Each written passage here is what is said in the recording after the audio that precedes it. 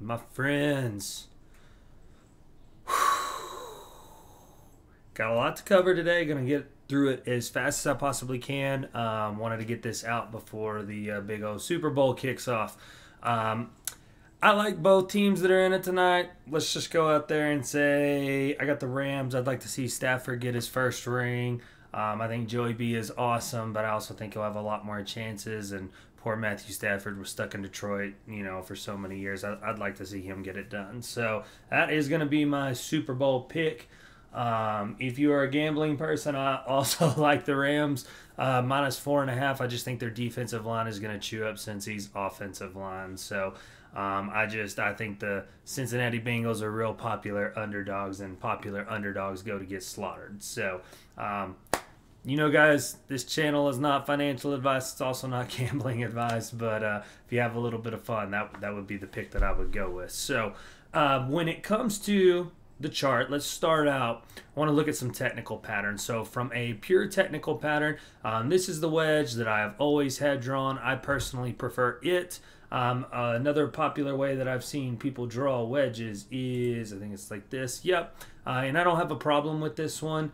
I just like the uh, the way that I've got it done, just because I feel like it gives me a little bit more uh, touch points. It includes the all-time high. So anyway, uh, this is going to be the wedge that we have been tracking for a brief moment last week. We did break above it, but unfortunately, it did not hold. And to an extent, I'm actually okay with that, and to an extent, I'm actually glad. Um, I don't want to come to try to break this line unless we really have a solid volume push to go with it. Um, so getting rejected off and, and, getting pushed back down and you know consolidating right here before another uh, attempt at it. And you guys know the deal. You know AMC likes her uh, her four tries to actually break through. So it's no surprise at all that that we got rejected off of the top of that trend. But that's going to be the first big one that I'm going to be looking for. Um, from a pure candle perspective too um, this is not a great candle okay? This is kind of a spinning top slash morning star. Um, you know this this candle very much indicates uh, indecision and so i think we could see uh, some downside um, at least some of this week for sure. Whether it's we come down kind of Monday or Tuesday, and then Wednesday or Thursday start ramping up, or if we try to you know push up towards the top, maybe like Monday or Tuesday again, and kind of get rejected off. But um, either way, you know, just like with any and all candlestick patterns, just like with anything in life, you know, nothing is a slam dunk. Um, you know, I remember whenever I first started watching, um, I used to watch a lot of like poker on ESPN and everything like that when it was real popular. And there'd be, they'd always have the cards in the bottom and there would be the percentages next to it. And sometimes a dude would have like a 98% chance because a guy had like a one or two outer and, and that would still hit. So, um, guys, nothing in life is, is a slam dunk. And so I, I like to approach things from a very realistic, cautious basis. I hope you do the same. I have been seeing a whole lot of hopium going on uh, Twitter and people sharing this post where a dude's like, Trust me, bro, I'm a financial advisor. 500K is the absolute floor for AMC. Um, and I'm telling you guys right now, and I do not care how many followers I lose um, because I say this, but for me personally, that is bananas. Okay? I'm not saying that mathematically it's not possible, and I would love to see it happen for everybody. Um, but we just we won't be doing that type of crazy talk on on this channel. Um, anyway, we'll worry about that. Let how about this? How about this, my friends? How about we just worry about let's start getting towards you know the upside and close to some all time highs. How about we just worry about that first before we worry about hundreds of thousands of shares per share? All right.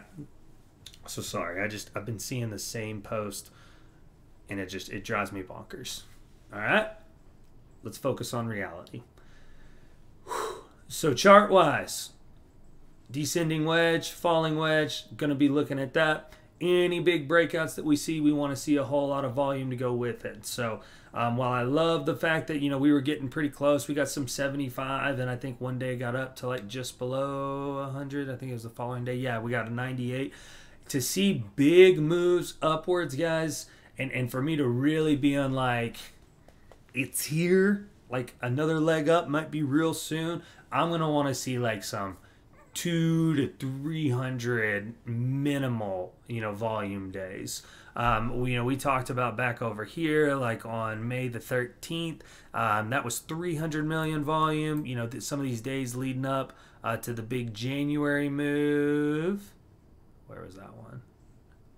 Yeah, 256, 162, 181, 268. So we want to see some big old volume coming in.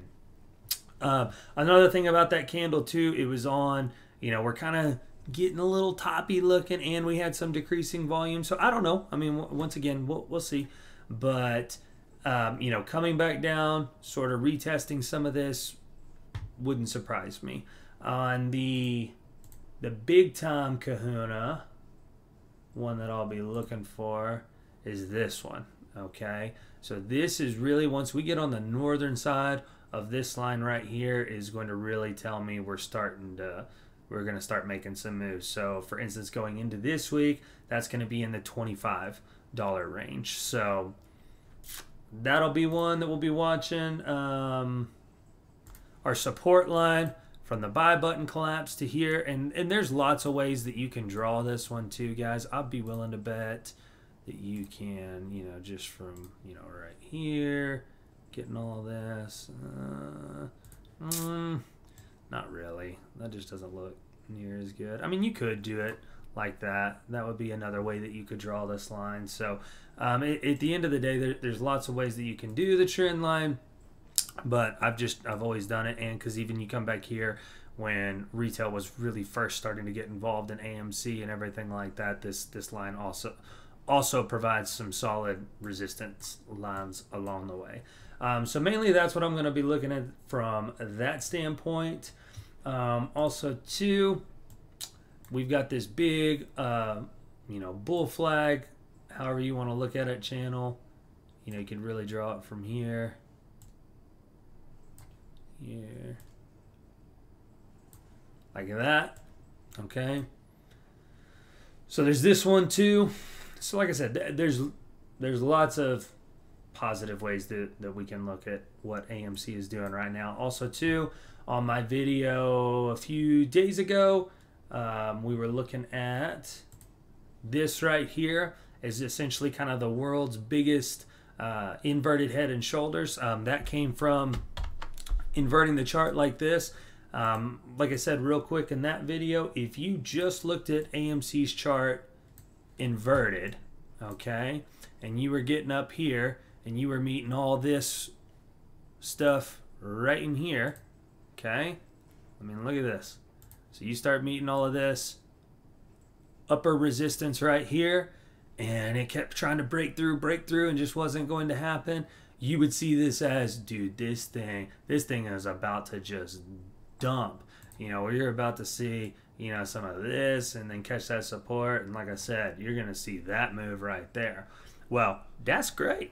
Let's do it. As far as I'm concerned, let's just let's just have it look like this. So, uh, every now and then, you know, sometimes flipping the chart upside down is a good way to look at it. Um, as far as our fibs go, let's look at. So this is the one that I think is most valid, and we'll get to in a second why. But from the top, so our 618 has acted as really, really, really, really solid support. And you can see right here, the 0.5 is now acting as resistance. But once again, guys, anytime someone tells you, you know, TA can't work on a manipulated stock, I've always said, once again, they all are manipulated stocks. I agree some of them are more manipulated than others. But if you just look at this right here, you can see all these different fib levels right here.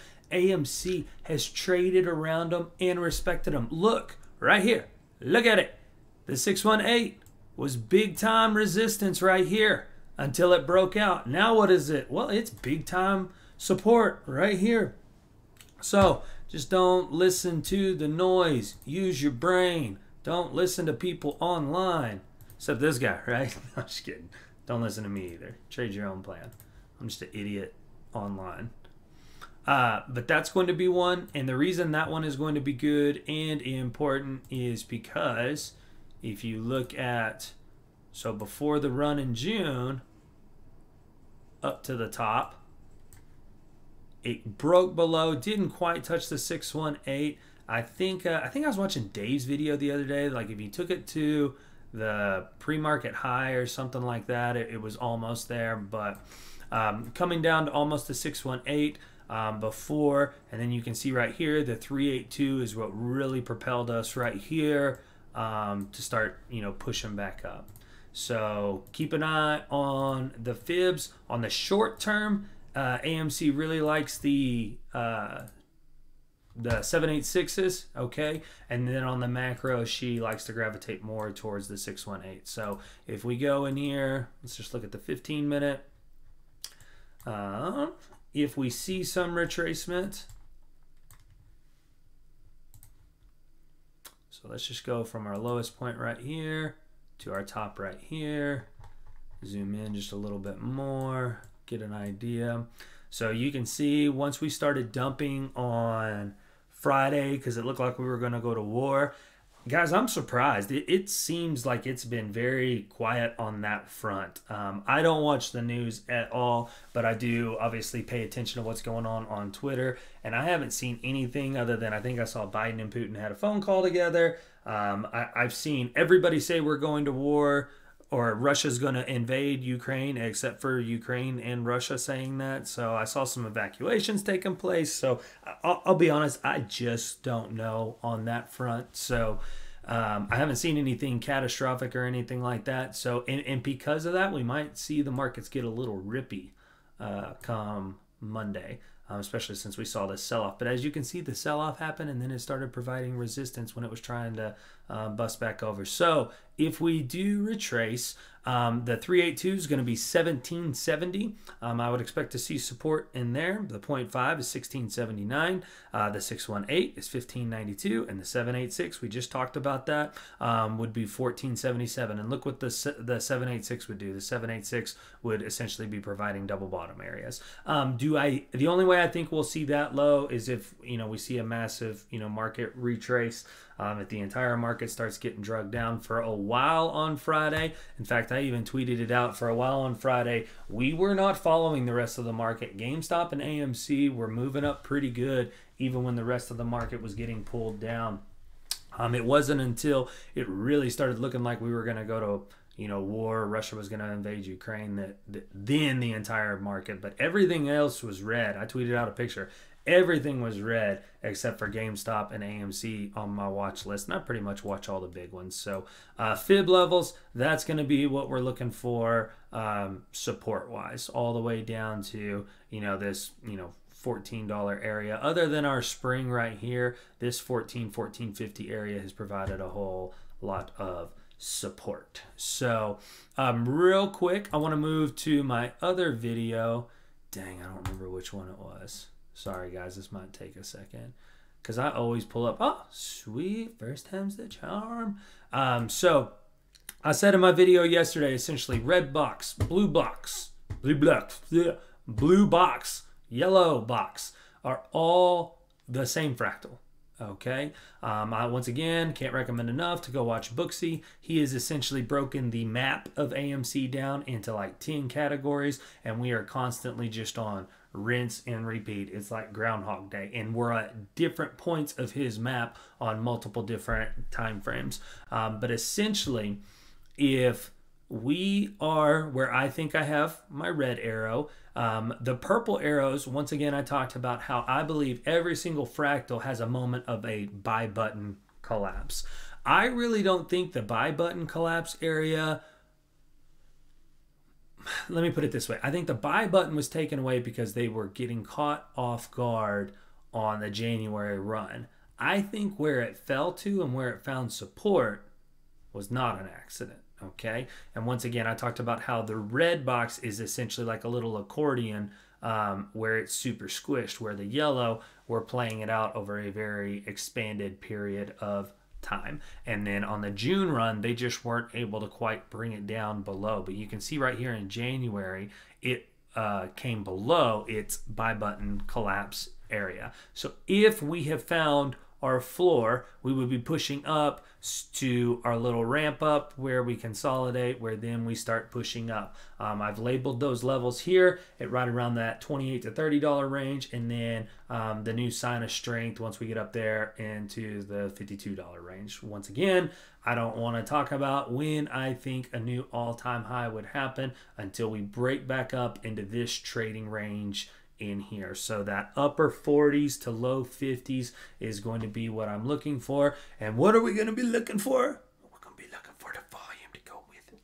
So once we really start breaking up into there, and as you can see, those moments happen very quickly back here. So I'm not saying it can't happen very quickly, but I am saying until we start hitting some of these levels, I'm not I don't even want to talk about, you know, all-time highs on a very serious basis. Like I said, let's just let's just get back to the 30s and 40s first.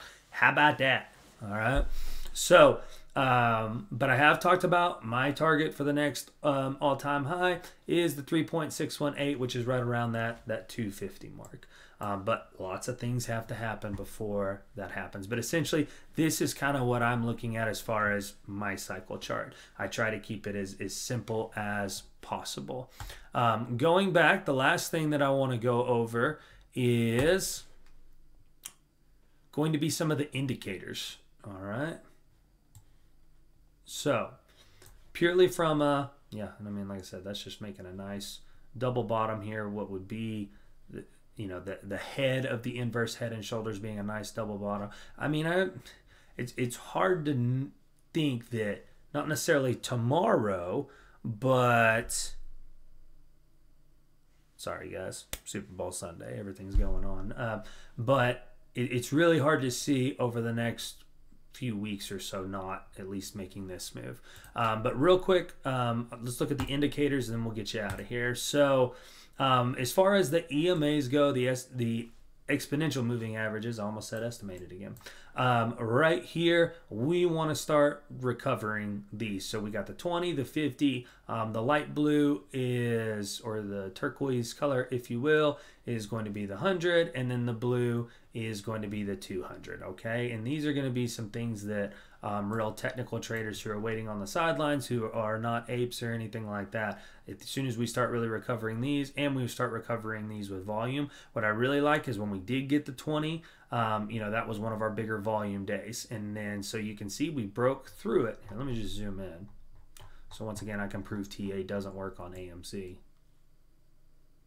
Let's see what I did there. Um, but so once we broke through it, then the following day, it acted as support even when it tried to get pushed down. So um, next thing we're going to be going for is going to be that orange one, that's which is the hundred, um, which going into this week is going to be at about 22 um, $23 range. So that's going to be like to see that happening for sure. So, um, but recovering these guys right here is how we're going to see um, big solid moves to the upside. So we'll keep those on watch um, as far as the visible range goes. So let me zoom out here. Once again, guys, each one of these little bars is kind of the volume traded in that area. So here's where AMC um, hit the stock exchange and you can see our basically I added a lot more rows right here. So at this point, when I added, let me see how many rows I've got here. So I've got 200 rows. All right. So the one that we bounced right here the hardest off of, the one that we bounce the hardest off of, is the biggest one other than all the way down here at the $3 mark. And then you can see it's it's just causing us to not catapult, but definitely have a strong reaction, which is strong reaction with volume, what we want to see. So I think we're going to start moving back up here into these air pockets. You can see right here, if the bam. All right. So you can see why we're starting to get rejected. Holy cow I hadn't zoomed this far out on it. But look my friends make this line a little bit bigger. Let's go white with it. So right here whoo doggy. This is an important line to get over. You can see it acted one two three four five Five times it acted as support. And then once it broke down and it came back up, and when it got rejected right here, oh lordy, oh lordy, did it get sent down? All right, so man, this is we need to get on the northern side of this line with some volume. Wow, I hadn't looked at this one, but the nice thing about it is you can see this volume gap right here.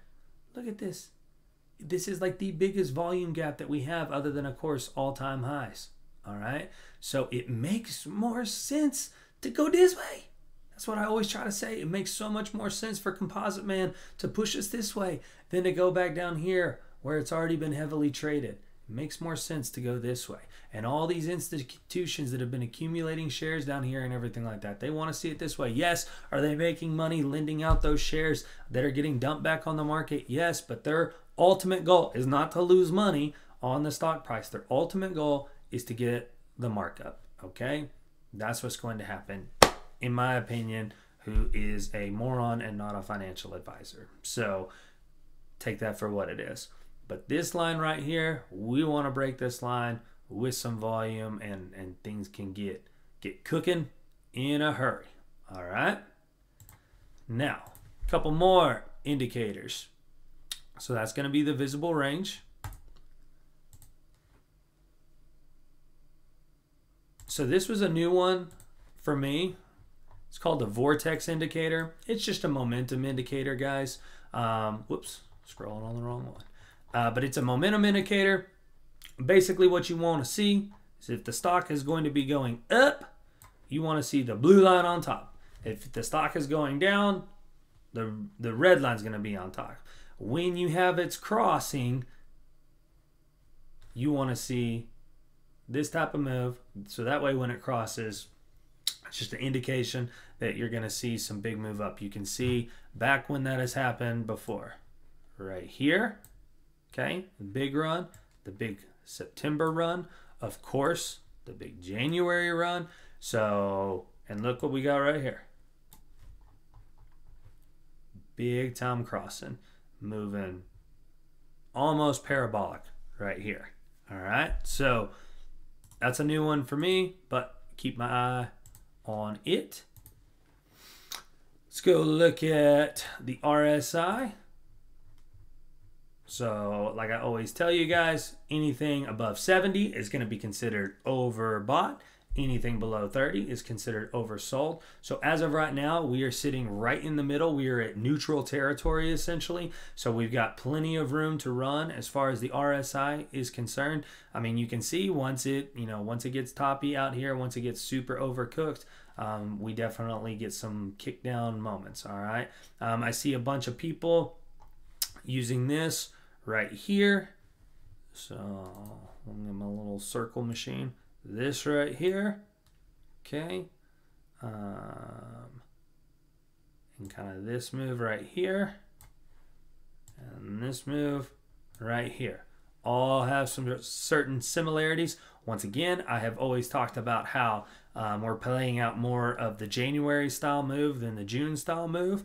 So this move, let me just get rid of this one right here. So if you look at the RSI, those are very similar moves other than this one got to a point where it was a little bit more oversold. But other than that, very similar uh, moves on the RSI indicator, the relative strength index. Let's get rid of that one now. MACD looks awesome. Curling up. Blue line essentially going parabolic. Um, right here, once again, you want solid dark green bars. You can see right here, solid dark green bars means your stock is, uh, the momentum is still good. Once these bars start to turn the, the lighter green color, that could be when we start losing momentum. You know, once the blue line starts heading down, um, that's going to be a sign for pullback. All right. And then OBV, on balance volume. So you can see in the January to June run, it stayed relatively flat, never even came back down after its buy button collapse. So once again, for me, going back to where I said on the fractal wise, so this is where I believe we had our buy button collapse moment.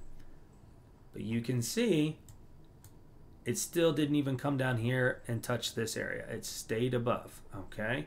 I've also seen several people, and I think it's a great way to illustrate it, um, basically drawing their pennants like uh, this. Whoa, whoa. So then right here, it broke underneath. Then from here, we got this. From here, we got this. Broke underneath. So right here, oops, my fault. So right here, we broke underneath and are curling up. Broke underneath, hopefully gonna curl right on up, all right? So that's what we're looking for on the OBV. Um, I think, and I agree, most people are saying, you know, once we start getting above this, you know, 5 billion over here on the OBV, then that's gonna be like go time. You can also draw the same thing right here. This one's a little bit more of a descending wedge, but you can see broke down, curled up, gone. So that's happened one, two, and maybe three times. Uh, you know, I kind of went full tinfoil hat on Adam Aron's tweet. Um, he got out there and he talked about how um, he's got uh, 2.3 million shares either already or coming his way. He didn't say specifically. Um, most people agreed that those are going to be coming to him based off performance uh, bonuses. And so, but he said, I really hope those short sellers are wrong, wrong, wrong. And I said, wrong one time, January, wrong two times, June, wrong three times, hasn't happened yet. So, once again, that's pure tinfoil. But at the same time, I do believe that both Adam Aron and Ryan Cohen tweet more than what they tweet, if you know what I'm saying. There's just certain things that they flat out cannot say um, because of stock manipulation and everything like that. Even though their stocks are manipulated like crazy 24 7, they can't come out and actually say anything. So, um, overall, my friends, that is what I'm looking for. I think this week, if, if the overall market gets rippy this week and everything like that, we are going to see good upside from AMC. Um, you know, there's there's a in in well thought out theory I might add that basically you know all these small and mid cap companies um, that are in this you know five to ten billion dollar range. There's so many companies that have lost anywhere between fifty to eighty percent of their value um, here recently, and so um, that money is going to rotate out of the mega caps back into the small and the mid caps, and we could es- essentially see like a small mid cap kind of everything squeeze, if you will, uh, which would make the most sense when it comes to AMC and GameStop and everything like that. If if you were trying to not have it be super FOMO issues or anything along those lines. You would kind of want to let everything sort of go at the same time so that way retail money is spread out as much as it possibly can. Um, because, like I always say, my friends, you know the deal. Not everybody, um, you know, is an ooga booga ape or anything along those lines. There are a lot of people out there who just, you know, they're not, they're not just buy and hold people or anything along those lines. So, that's basically what I'm going to be looking for for the week. So we'll keep our eye on the EMAs, the VPR, um, all the indicators, the RSI, um, the MACD, the Vortex. Um, we got to keep our eye big time on volume. If we see big moves, we want big volume to go with it. Um, we'll keep our eyes on you know the news as far as and once again I like I always say the news just justifies the move uh, in the prices. And so uh, please follow me on Twitter, Colin underscore Gladman. That's where I'll be tweeting out all my intraday thoughts and looking at the chart and everything along those lines. And you guys know the deal. If you enjoyed this video, please like and subscribe. Um, tell your friends about it. Helps out the channel. Uh, the more people get good quality information and not just, you know, not just 500k a share, the Ford can't stand that stuff. I'm sorry, I really can't. Um, I hope it happens though. I promise you, I'll be happy. But um, once again, I, I just people trying to predict things that have literally never happened is just funny to me. So let's go off of what we know and what we can prove. Okay?